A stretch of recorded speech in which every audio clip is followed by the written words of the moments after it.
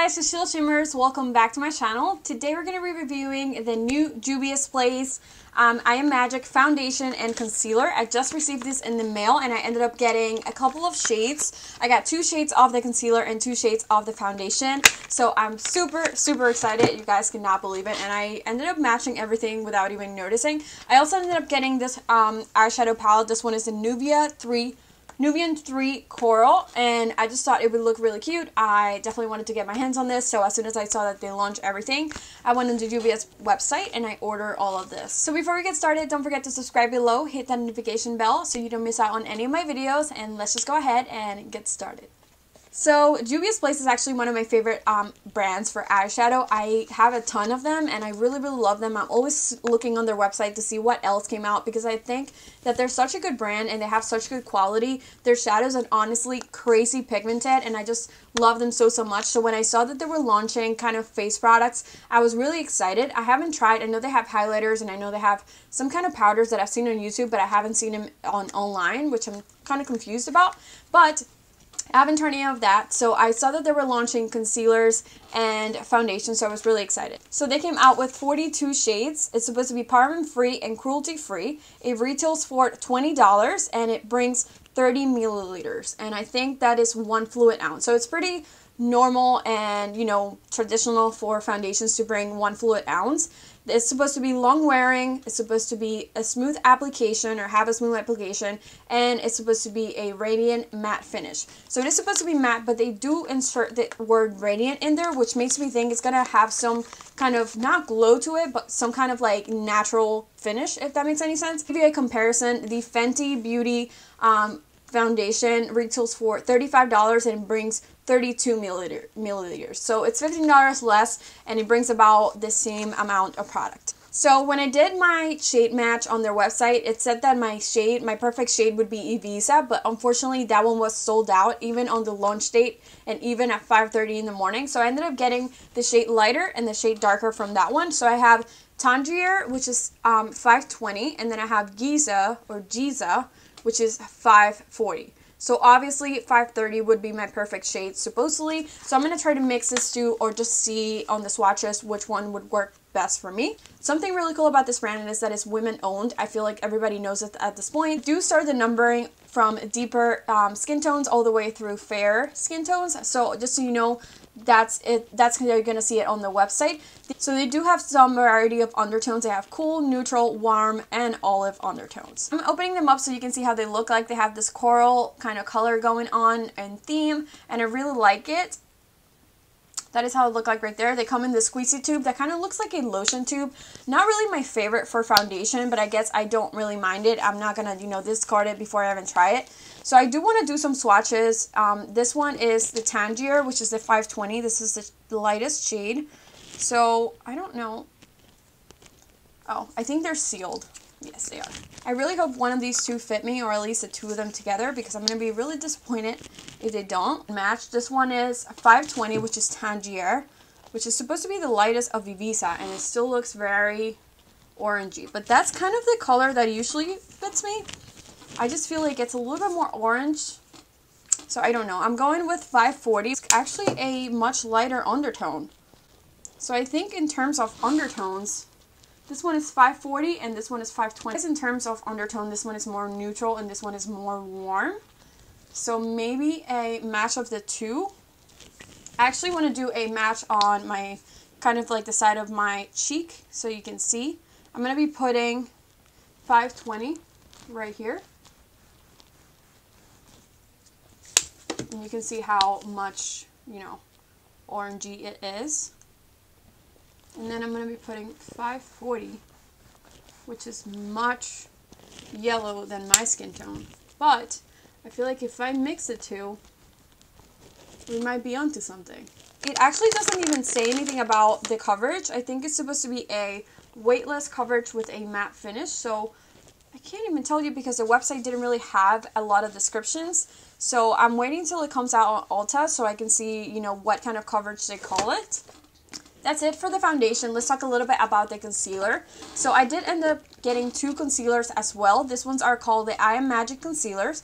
They come in 24 shades and they're retail for $14. They bring 10 milliliters. Just to do a comparison, the Jouer concealer, which is my favorite, is $22 and brings 4.14 milliliters. So that's literally 6 milliliters less. So this is supposed to have a weightless coverage and it's supposed to be really creamy.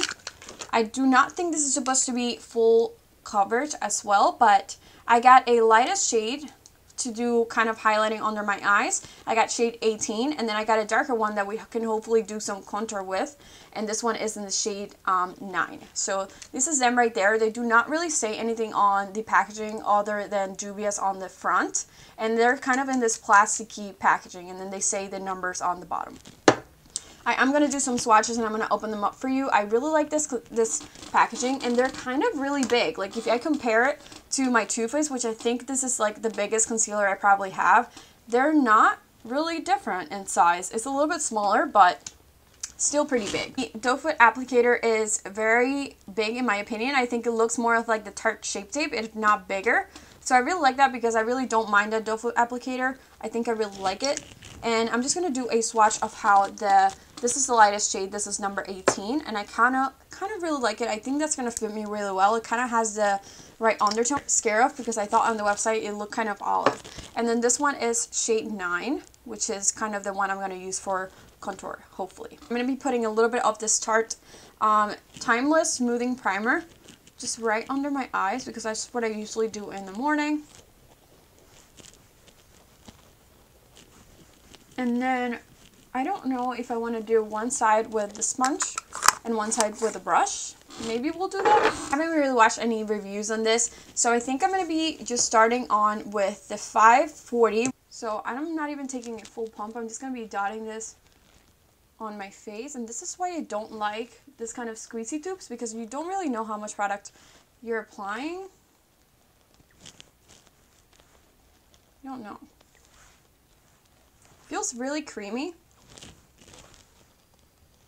and it kind of has I don't know if I smell anything but I'm just gonna start blending this out with my brush. I'm using this one from Tarte. And this one I don't know if it's too light. I think it's definitely too yellowy for me but I feel like the other one was just too orange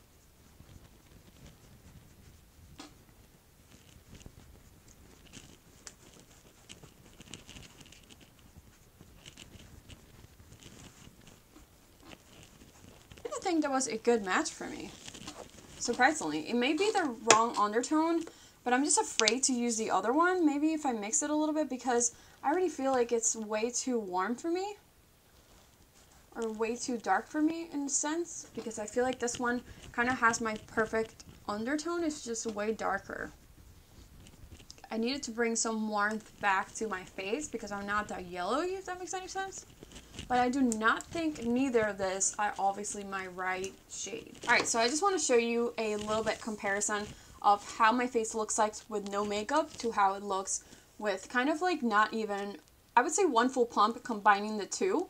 But that is pretty good. I would say this is a medium coverage and it feels very lightweight. Like I honestly don't even feel anything on my face. I know I know people just say that about foundations, but this is honestly I do not feel anything whatsoever. It was really easy to blend and I'm really surprised of how smooth it looks even with a brush application. Like usually on my skin since it's so dry you can see some kind of like brush strokes um, left behind. So with the on the right side I am going to be using my little sponge right here and I'm going to be doing the same thing. I'm going to be applying the 540 with my finger because I feel like it does dry pretty quickly so I'm glad I went in with a light hand and just you know didn't go all all in like I usually do.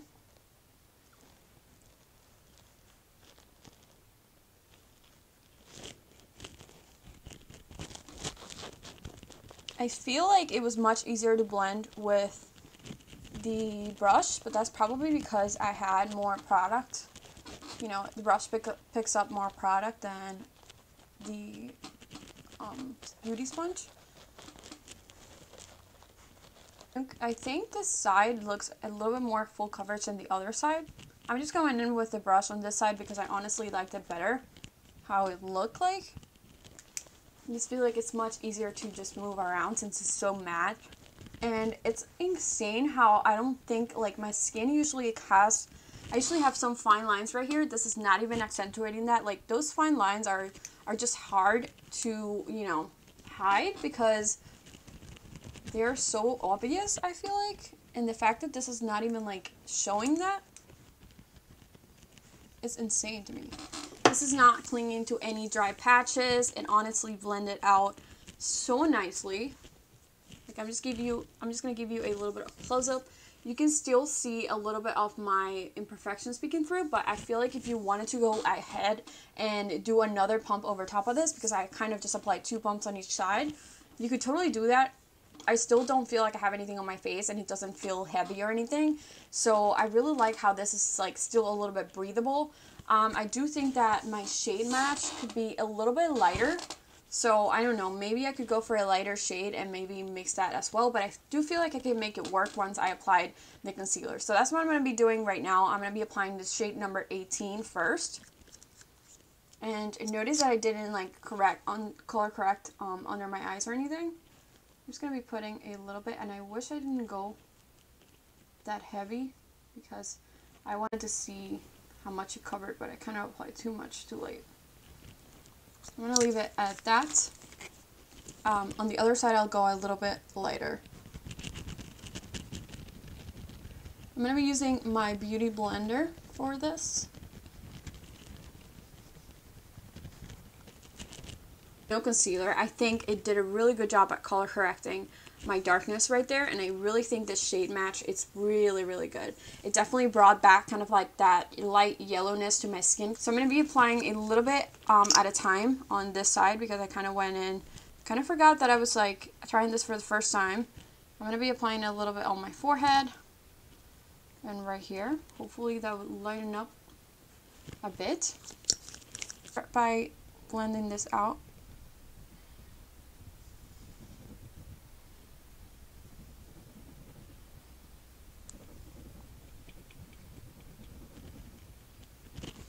feel like this side, even though I didn't apply much, it still looks pretty good.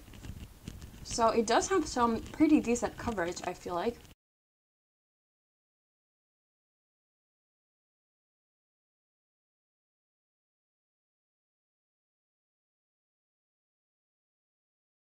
And I think what I'm going to do is, maybe I won't set underneath my eyes because I would want to see if it creases or not. So maybe I'm just going to leave it like that. And then I'm just going to be applying the number 9 contour shade. And we're going to see how this blends out.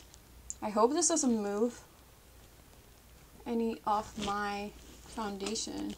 And I'm doing it in dots because I just saw how much coverage this had. And I'm honestly scared.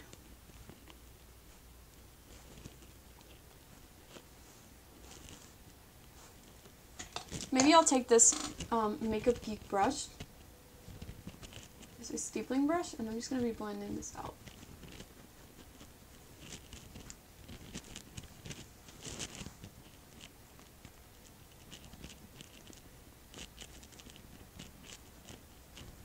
I think that's a good shade for contour for my skin tone.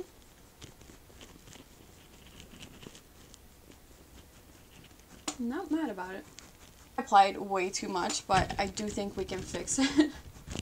so just make sure that you go light if you're going to be using this for contour because, whoa. I'm just going in with my beauty sponge and I'm just going to be blending this in. Everything, like it doesn't feel like I have much on my face, but obviously when I touch it, it's still a little bit tacky where I feel like I might need to set it. Like it hasn't come down to a matte like a full matte. It's still pretty, pretty wet. Like that sensation when you put the Fenty foundation on and you kind of know that you don't have to set it because it becomes kind of like powdery. You don't get that with this foundation. Not that I was expecting it to because it's not claiming it to be that way, but just know that this is not like a foundation you can just like, like it's still going to be pretty dewy if you don't set it. Because I really like how this brush, this Makeup Geek brush kind of blends out liquids. It doesn't make them, doesn't kind of move your foundation if you're using cream contour. which a lot of brushes do that. So I like going in with this first and then I kind of use the beauty sponge to kind of set it in place where I want it.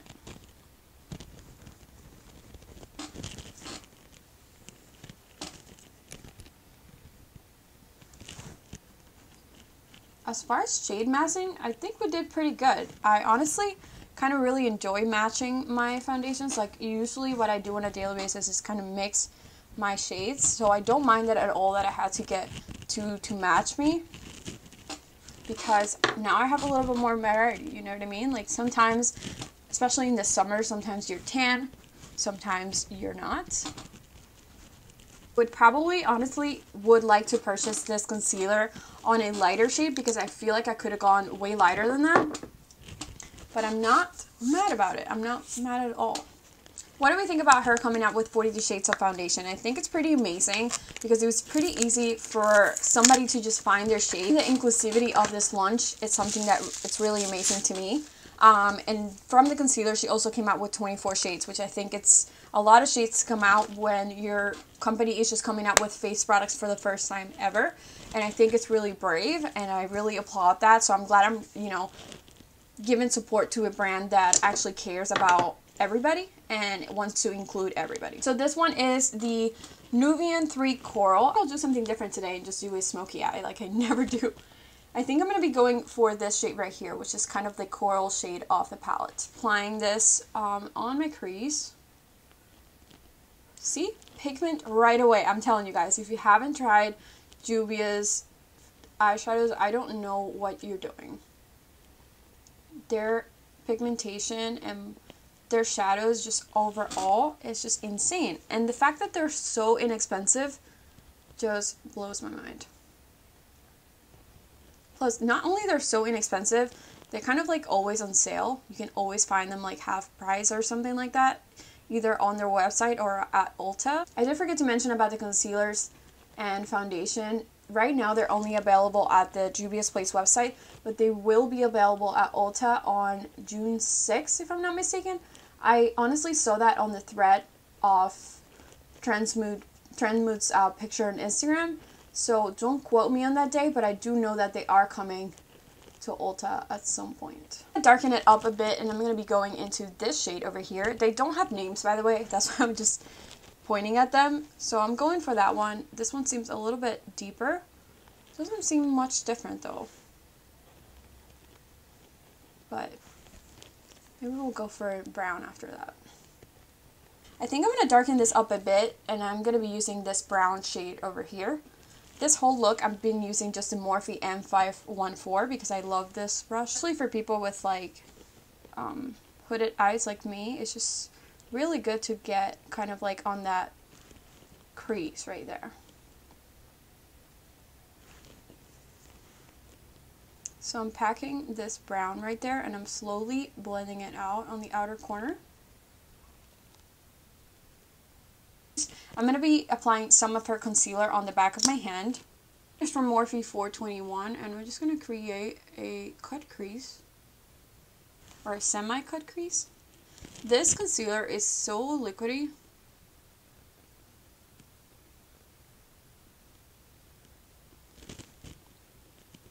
It's very runny.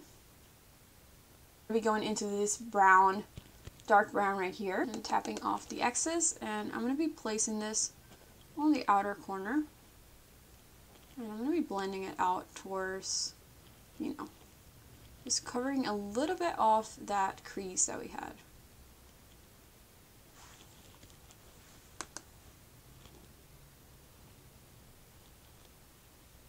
I'm going to be going into this light blue shimmer right here. And I'm going to be applying this in the beginning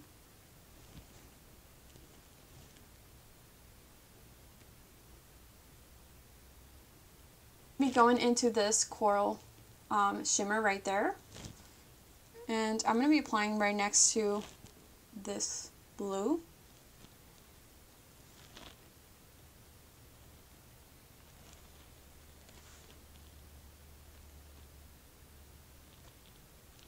And then I think I'm just going to use one more shimmer on the end.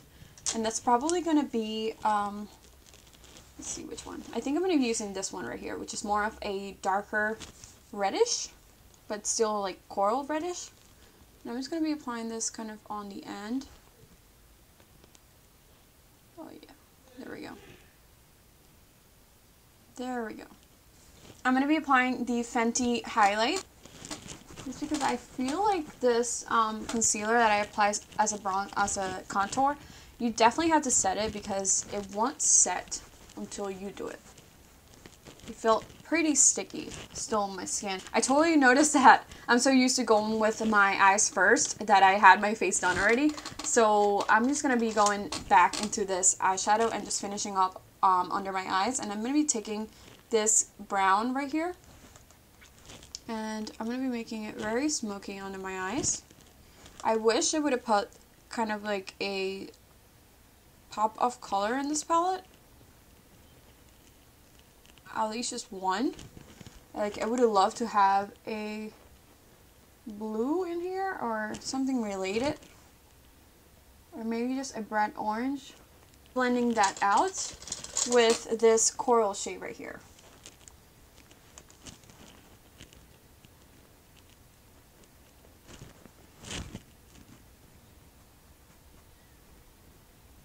And really loving how this look is coming together. And for highlight, I'm going to be using this one from Fenty Beauty. I just got this. This is not new by any means. This one is our Killawatt. And I got the shades Lightning Dust and Fire Crystal. So it's a dual one. And I feel like this one looks a lot more glittery. This one is Fire Crystal. So I'm going to be going on top of that with that one. And I feel like, yes. Much better. I was going for something more dramatic since my look it's kind of like on the earthy side for once. So I was doing a lot of crazy looks lately. I still think it's crazy of how this foundation is looking even though I did not set it, not one bit. I do feel like you have to set your concealer though because when things were falling out of it, it was kind of rubbing off when I was touching it, obviously. I expected that to happen, but I still wanted to see how it perform if I didn't set it. Alright guys, so makeup is done. I do want to give you guys my thoughts on this product. I do want to talk about the foundations and concealers. Obviously, I'm going to start talking about the foundation first. It's the first thing I applied. I do think that the price point for this $20 is unbelievably inexpensive and I think it's really good. And the fact that we're going to have this, you know, readily available at Ulta, I think it's really good because it's kind of like a drugstore price, but it's also a very good, you know, quality. And I really appreciate that. I love the fact that they gave us a they gave us one fluid ounce because that's a lot of product, especially for the price. Um, that's also really good. The only thing I did um, I didn't end up liking was the application of this and the packaging. I do think that I would have preferred a pump, but that is honestly a personal opinion. That is just, you know, how I feel about this. More other people might like the fact that they have to kind of go and squeeze these out of there, but that is just not my preferred method to apply foundation. I did end up liking it more with this foundation brush. This one is from Tarte, and honestly, I love this thing. I'm more of a beauty uh, blender person, but honestly, since I got this, I have just been using this solely, and I really, really enjoy it. I love the fact that this was so full coverage. Um, honestly, I ended up applying just two pumps of this on my whole face, and um, that, I don't think that's a lot. I, I'm saying two pumps because I honestly I'm just exaggerating that because I don't think I ended up applying two pumps. I kind of mixed it together and I thought that 540 and was very warm and I thought that 520 was kind of more yellow. So the fact that these are two shades apart kind of made me think that the jumps on undertone might be a little bit too drastic. I hope that 530 ends up being my perfect shade. Even though I have combined these two, I still think that I'm a little bit too on the dark side. Like I mean, if I look at myself in the mirror, I can see that my face is a little bit warmer and darker than my skin tone. I could probably get away with applying 520 by itself and just bronzing it out and see how that looks. But I did think that this one was more of a yellowy undertone and I think that this one is just way too orange for me. So I don't know, maybe I'll go ahead and apply it and buy Ibiza because I did end up liking it that much, but for now, I think I can make these two shades work. I love the fact that they was so like lightweight on my face. It doesn't feel like anything and it was very easy to just blend out. I love that about it. I love the fact that it didn't have any fragrance as well. And I love the fact that it has 42 shades, honestly. I have so many things, um, so many foundations that I honestly go in to look for my shade and I struggle to find it, to find my undertone, to find my shade. And I just think it's really good for when brands just think about everybody and want to include everybody in their launches. I do respect that and appreciate that. So that is something I really like about this lunch. Um, something I just want to give you guys a close up so you can see how my skin looks like. I think it's covering up pretty much everything. And I just think it's so crazy how I didn't set not one bit of it and nothing is clinging to anything anywhere. You can't see any lines, which I usually do have. My skin literally looks like a matte veil or just some gloriousness from above or something because I am so impressed. The fact that like I don't know, even like my dry areas right here on my nose are not even like accentuated how they usually are. I just can't help those things from happening. And I did only prime right here under my um, eyes, but where I have the most texture is right here, and it's not even showing that. Like no texture, no lines, no wrinkles, no pimples, no nothing. Pretty impressed with this foundation, honestly, and this is like their first try at it. I cannot even imagine what they're gonna come, come out with next.